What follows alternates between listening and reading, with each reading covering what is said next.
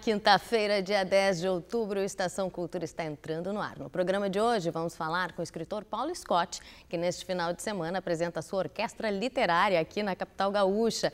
Tem também uma conversa sobre a 18ª edição do Festival Palco Giratório Sesc, em Porto Alegre. E ainda vamos ter aqui com a gente os nossos colegas do programa Cantos do Sul da Terra, que está completando dois anos no ar aqui na TVE.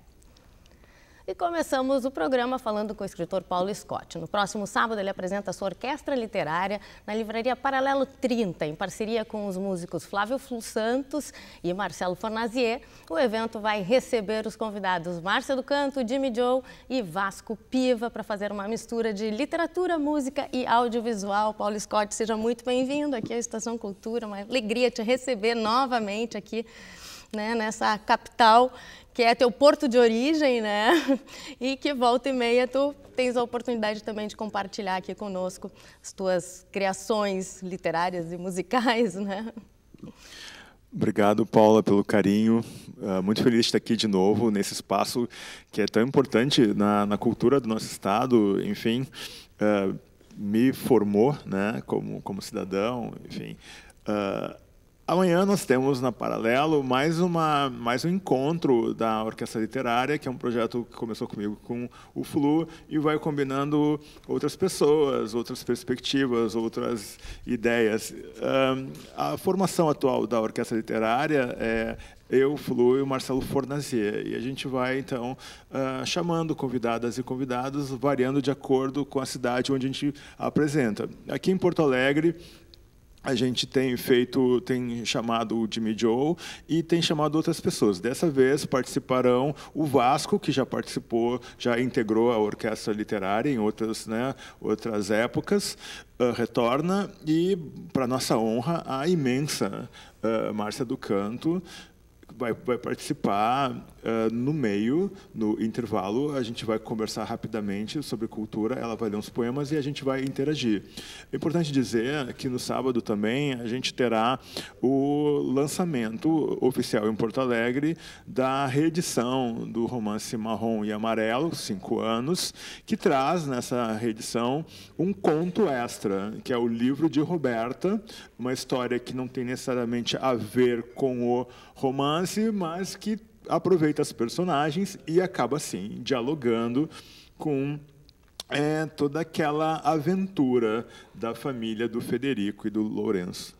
Pois é, tu comentavas essa agenda de sábado, né? Tu também tens uma atividade amanhã, né? Sexta-feira, ali no Clube de Cultura e outras também. A gente vai dar mais uma pincelada aí da terça-feira ali no Sarau Elétrico, né? Uhum. Porque as outras são para mais adiante. Depois a gente deixa o contato aqui do Paulo pelo perfil no Instagram também dá para acompanhar as demais agendas, que são muitas, né? A oportunidade de estar aqui na capital e aí a agenda fica cheia, né, Paulo? Fica querendo matar a saudade e o pessoal também te receber dando essa acolhida, né?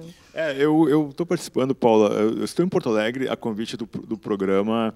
Uh, da Universidade Federal do Rio Grande do Sul, da Sociologia, que é um projeto que debate segurança cidadã. Então, tem uma série de palestras relacionando, a, a, tratando essa interdisciplinariedade entre literatura, pensamento político, a questão social, Uh, jurídica também, inevitavelmente, sociológica, e aí nós optamos então por uma série de encontros e diálogos com a comunidade acadêmica e outros espectros espectros da sociedade porto-alegrense e gaúcha. E aí essa uh, essa série, então, né? essa, essa presença, como eu disse, essa oportunidade, ela acaba, uh, digamos assim, viabilizando a orquestra literária, a ida ao sarau elétrico, que é que o tema é, é o, o, professor, também tem um diálogo importante. Então, muito, muito feliz de poder estar em Porto Alegre por sete dias, numa agenda tão intensa e conversando com as pessoas que são tão importantes para mim, interlocutores importantes e que apostam numa cidade que pensa o contemporâneo, oferece uh, uh, soluções, uh, questionamentos. Isso é muito vivo e isso é muito importante. Eu estou muito, muito feliz de estar de volta a Porto Alegre.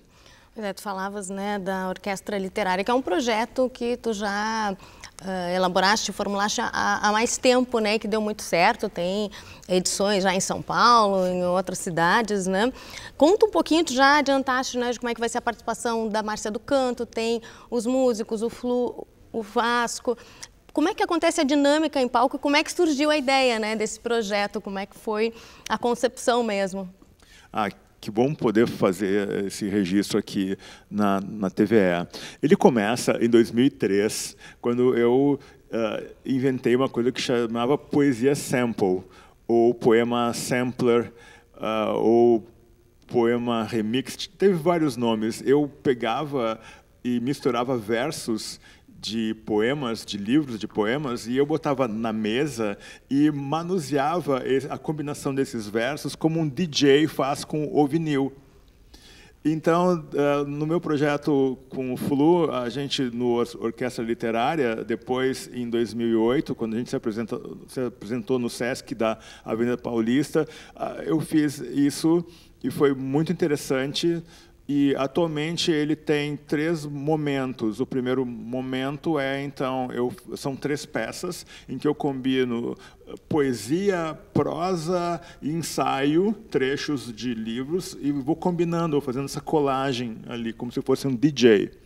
Depois a gente tem a interação com, a, com, as convidadas e os convidados. E depois, então, na terceira parte, a gente, a gente apresenta, sempre com essa interação entre literatura e música, três músicas do Flu e três músicas da Orquestra Literária que está no Spotify. A gente acaba uh, a apresentação com o nosso hit, que é Exu Mário Quintana, que profeticamente acabou de, né, esse poema e essa música que está no Spotify, repito, né, no Orquestra Literária, é, acabou dialogando diretamente com a, a, tragédia climática que se abateu sobre Porto Alegre. É uma espécie de homenagem ruidosa, crítica à cidade que me formou, à cidade que eu amo, uh, e acaba organizando assim uma espécie de balanço, angularidade entre a sabedoria, a alegria e a leveza de Mário Quintana e os retrocessos políticos, econômicos, sociais que se abateram ou se agravaram no nosso contexto social porto-alegrense recente. Paulo Scott, uma alegria te receber. Volte sempre nas próximas vindas. Não deixe de nos visitar aqui na TVE e na sempre. FM Cultura. Reforçando então, Orquestra Literária, sábado às 18 horas, ali na Livraria Paralelo 30, na Vieira de Castro, bem pertinho da Redenção, um espaço muito bacana, novo aqui na capital gaúcha. E antes ainda, amanhã às 18h45, conversas de romance no Clube de Cultura, que fica na Ramiro Barcelos, essa casa tradicionalíssima, né, histórica, importante aqui da capital gaúcha, na Ramiro 1853. Também fica a dica do perfil. Tem ainda, lembrando, o Sarau Elétrico, todo mundo sabe, terça-feira ali no Ocidente, né? Essa conversa em homenagem aí, os debates, reflexões acerca do fazer, né? No ensino do professor. E o Instagram do Paulo para conferir as próximas agendas e eventos no arroba Paulo Scott Real. Mais uma vez, Paulo, muito obrigada. Obrigado, Paula. E até a próxima. E o Dia das Crianças está chegando e não poderia ser diferente. A nossa agenda cultural está toda dedicada a elas. A Casa de Cultura Mário Quintana tem uma programação bem especial, com Feira do Livro Infantil, oficinas e atividades lúdicas. O dia 12 também vai ser de muita brincadeira e diversão no Vila Flores, no quarto distrito da capital. Lá no Instagram você encontra todos os detalhes. Veja agora outras dicas.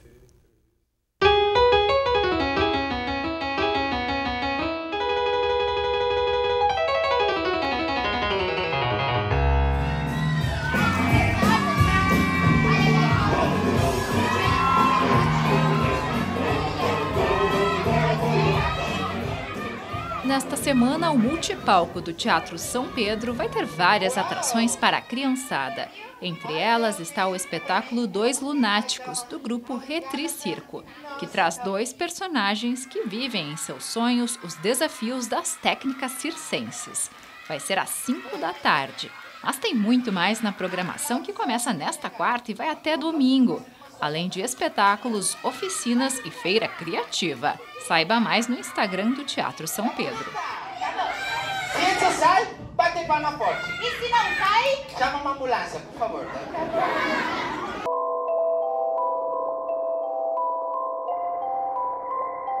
Também neste sábado, às quatro da tarde, a atriz Débora Finocchiaro apresenta o seu Baile de Letrinhas, espetáculo infantil que propõe uma brincadeira com o alfabeto de forma poética e lúdica.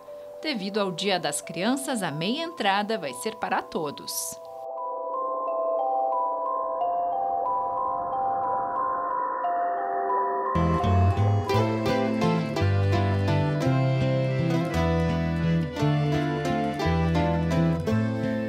Os bebês e a família inteira, o grupo Cuidado que Mancha apresenta o espetáculo Cuidado que Ronca, neste domingo, às 13h30 da tarde.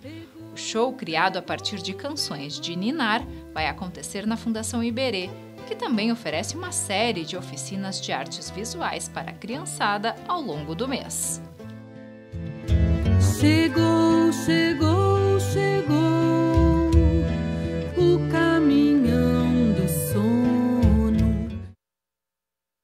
dicas bacanas para agitar com a criançada.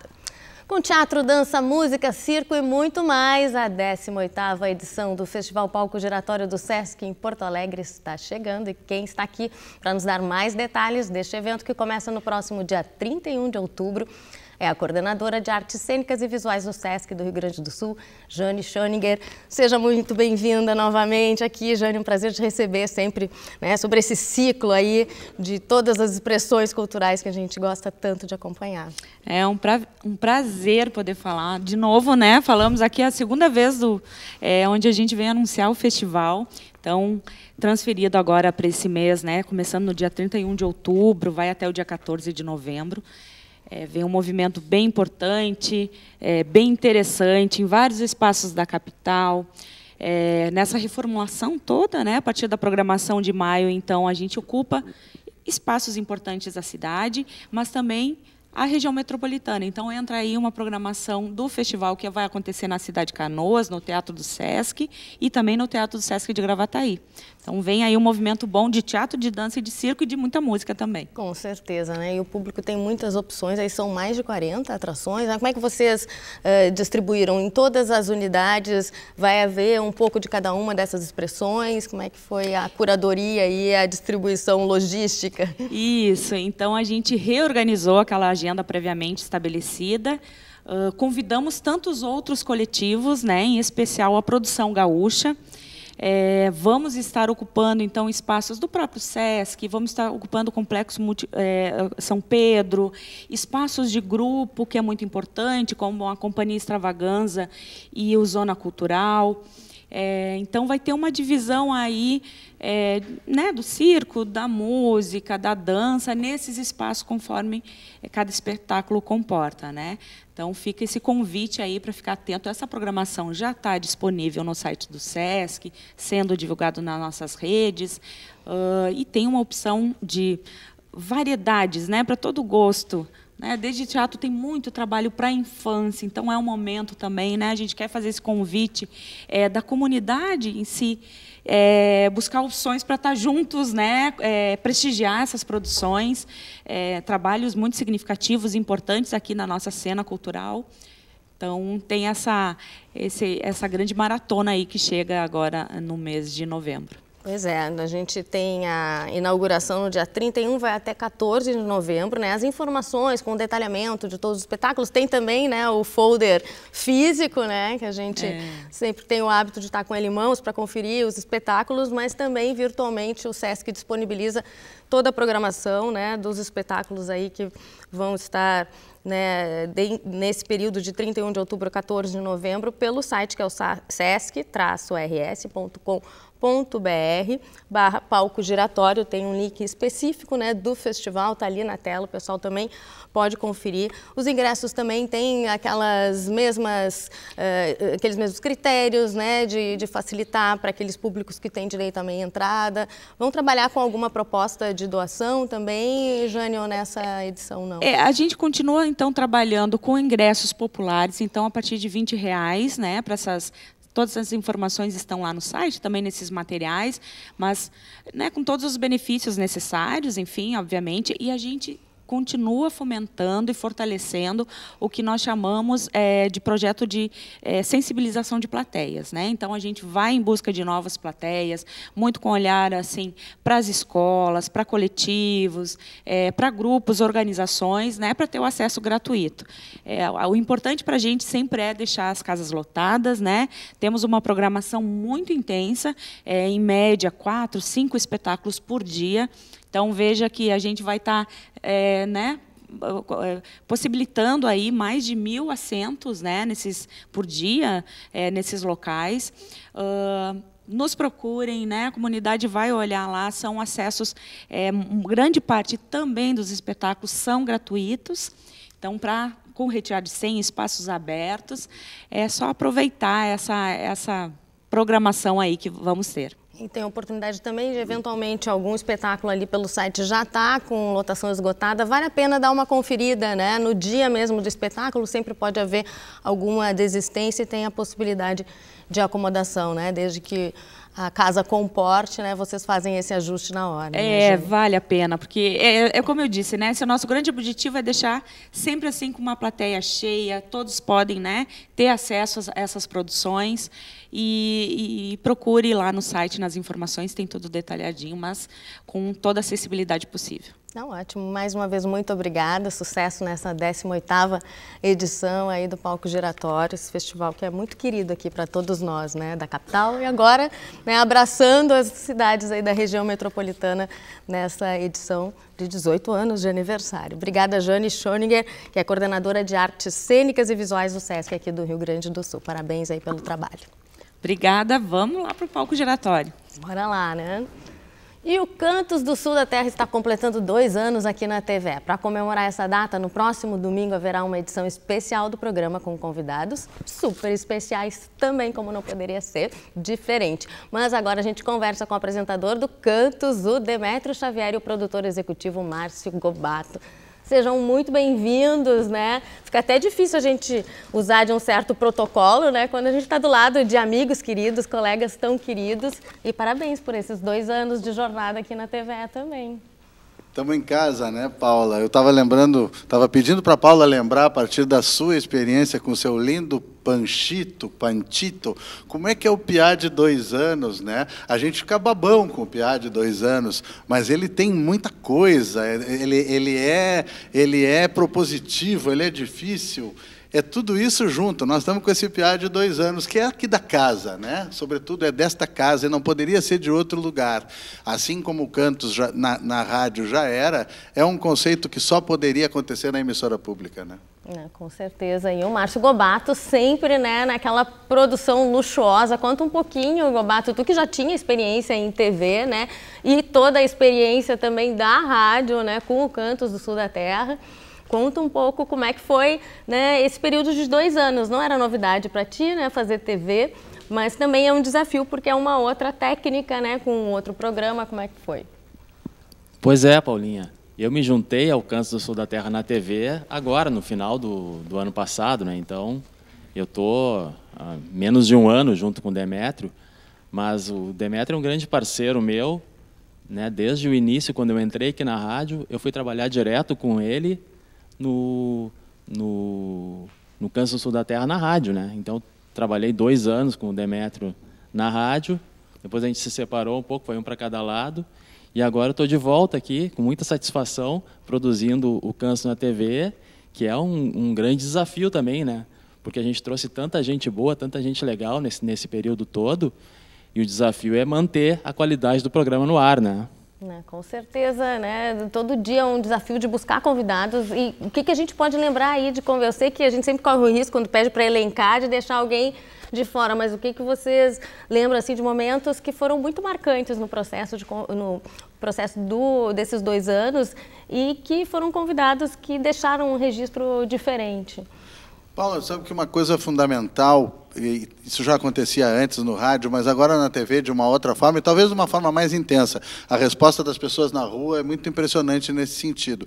É a gente usar um conceito bem amplo, trazer de tudo, sem decepcionar aquelas pessoas que querem nichos específicos, de um, num sentido muito particular, que gostam do bem tradicional, né? da coisa bem crioula, que eu também gosto, que é muito o meu chão, mas a gente quer que, que esse, esse papo de um território comum do sul do continente seja mais amplo. Né? Então, a gente está tratando de ter todas as representações possíveis, tanto nos nossos papos, nas nossas charlas, nas nossas cevadas de palavra, quanto na música. Me ajuda daí, Márcio. Eu, eu por exemplo, me vem imediatamente à cabeça a, a, presença da Josiane França, que foi uma coisa super emotiva, e ela nos deu um presente, entronizou no cenário do Canto Sul da Terra a Baiomi que ela fez para representar o povo negro e a mulher negra ali na, naquele dia.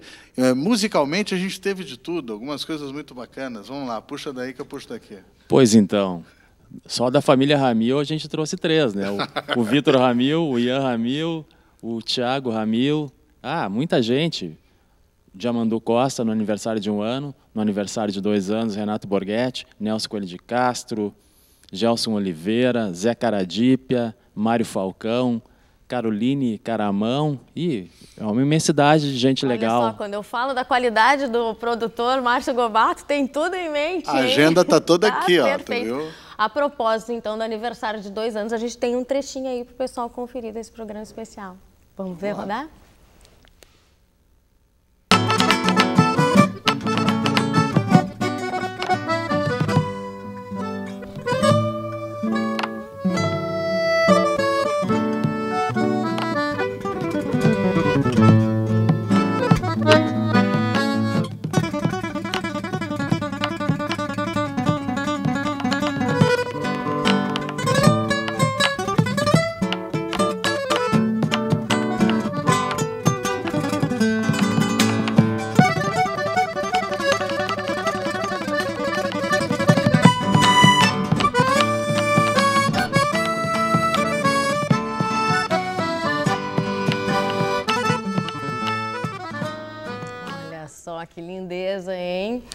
É que foi a gravação desse especial? Tinha uma carga de emoção, porque sempre que é aniversário a gente né, fica com o coração mais acelerado. Pois é, esse, esse cara, quem não quer fazer uma festa, uma comemoração qualquer e ter um cara como o Renato Borghetti com essas duas feras junto com ele.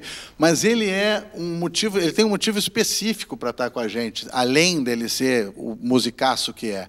Que ele tem esse conceito, essa amplitude. Ele é o cara do regional em que tudo ele leva em conta, tudo ele reprocessa, informações de outros tipos de música, e que anda pelo mundo, que, que, que dialoga com tudo sem o menor preconceito, sem o menor problema. E, ao mesmo tempo, um altíssimo astral, né? um programa de festa A gente até fez um formato um pouco diferente, que é justamente para mostrar que é uma comemoração mesmo. Que bacana. Antes só da gente encerrar, o Márcio Gobato lembrava, né, que o programa iniciou com uma outra composição, né, na, na, retaguarda, na produção, né? Vamos só lembrar, então, de quem estava ali nessa equipe embrionária, né, que hoje é conduzida por vocês dois, basicamente, mas antes, quem mais a gente tinha? Quais eram os nossos colegas? A Liliana, Pois então, a Líria, que era a diretora do, do programa, hoje quem está substituindo ela é o Borges, né, o Jaldson Borges. Uh, na produção faziam a Líria e o, e o Demetrio, dividiam essa parte. O Bernardo Moleta, né, nosso colega da rádio também, que continua no programa desde o início. O Mário Lúcia, na direção de imagens, uh, antes era o Felipe Koenig, mas tem uma curiosidade que eu queria contar para os nossos telespectadores, que é, para quem não conhece aqui o, o espaço do, dos estúdios da TVE, a gente está dividindo na, na, gravação do Cantos o espaço com Estação Cultura Estação aqui. Cultura, né? para vocês verem a versatilidade né, dos pois nossos então. profissionais aqui que conseguem transformar esse espaço, né, que é do Escação num momento, e num outro, né, um outro visual para o Cantos do Sul da Terra. Gente, muito obrigada, tá uma delícia o nosso papo, mas a gente precisa encerrar para poder ainda acompanhar um pouquinho mais. Depois de cevar a palavra, a gente vai conferir um pouco mais do Demétrio Xavier. Só reforçando então, Cantos do Sul da Terra, domingo, às 7 da manhã e depois a representação às 10 e meia da noite aqui na TVE, canal 7. Também pelo site, pelo streaming www.tve.com br Fica o convite, parabéns a vocês, a toda a equipe, né? todos os nossos profissionais queridos que fazem acontecer o Cantos do Sul da Terra.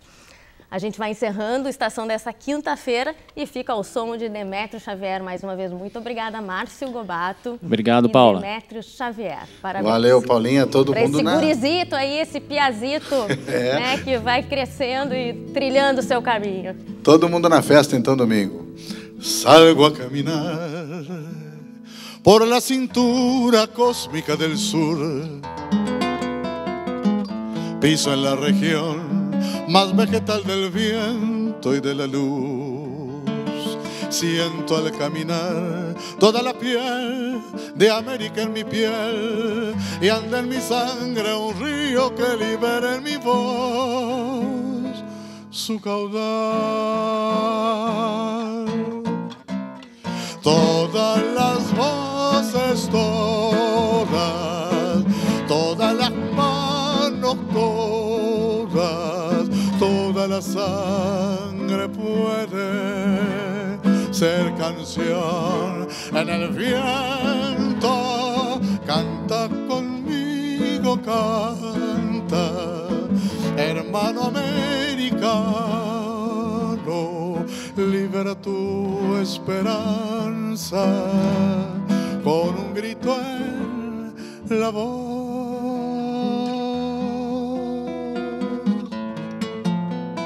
Sol de Alto Perú, rostro Bolivia, estaño y soledad. Un verde Brasil, besa mi Chile, cobre y mineral. Subo desde el sur hacia la entraña.